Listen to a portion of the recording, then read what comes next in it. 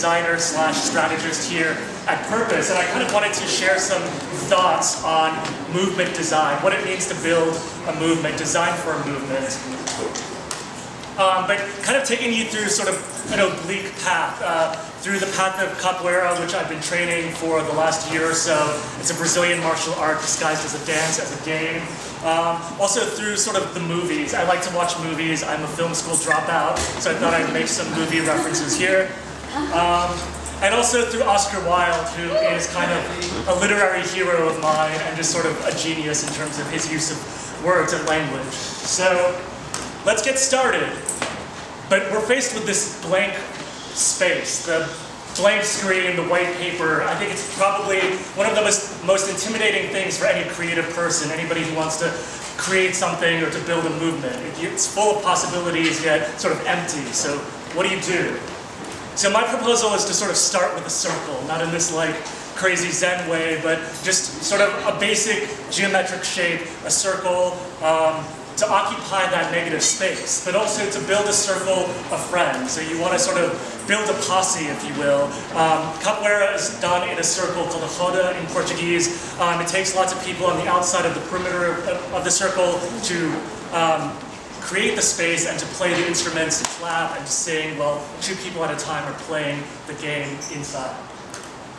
So you're building your posse. Um, it's just like the movies, whether it's the Seventh Samurai and you have to sort of recruit reluctant samurai to help you get rid of the bad guys, or if it's Ocean's Eleven, um, if you're a George Clooney fan, or if you prefer the Rat Pack, either way, you kind of have to build this diverse team of people of different skills, different personalities to really get the job done. Um, the American writer Peter Schjeldahl sort of talks about the process of creating a movement. Uh, he talks about, you know, this is how you start. You move to a city, which I did. I moved to New York um, in 2006 from a small town in rural Japan um, where I was teaching English. And um, you hang out in bars, which anybody can do if you're over 21 or have an older sibling with an ID. That's easy. Um, and then you form a gang, and from that gang you turn it into a scene, and then from that scene, you turn it into a movement. So that can apply to an artistic movement, a political, social movement. It's kind of the same thing. Um, so in Oscar Wilde's case, he sort of was hanging out in bars and doing all sorts of interesting things with his circle, um, his aesthetic circle. Um, they were also sort of his lovers, his friends. There's this kind of blurriness there, this ambiguity, which was interesting. Which takes us to the next point of be blurry. You know, I'm sort of an artist, activist, designer, strategist. Um, we're sort of lots of different labels, yet no labels, and I'm kind of comfortable with that ambiguity. And in Oscar Wilde as sort of the dandy figure, um, was full of contradictions himself. He was a devoted family man, he was married with a wife, but he had relationships with men. He was an Irish nationalist, yet he sought fame and later found infamy in England. Um, and there's this kind of interesting parallel between Oscar Wilde as the dandy aesthete and this sort of figure of the malandro in Capoeira, who's kind of this guy in a white suit here. He's kind of this like pimp type character, a ne'er-do-well, um, who sort of is a womanizer but doesn't really work. He just kind of gets by by scheming. But that actually takes a lot of skill and sort of smarts to do that. And you need that to build a movement.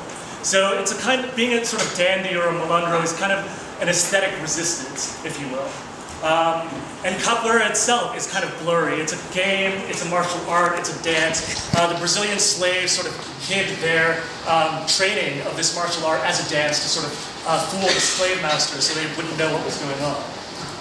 Um, and then capoeira also sort of emphasizes evasion, sort of getting out of the way, sort of ducking like this, doing different moves like that instead of sort of blocking or sort of um, confronting directly. Um, so it's a kind of direct, indirect resistance. Um, and in this sense, like an attack is a defense. Soundtrack, your anthem is We Shall Overcome, or it's Give Peace a Chance, or it's that scene in Casablanca where they all sing the Marseillaise as sort of a galvanizing force against the Nazis. You should have a soundtrack to your movement. So just keep moving. A movie stops if you don't keep the film moving. And in capoeira, there's Ginga, the basic move that sort of flows through everything. So you don't want to stop that.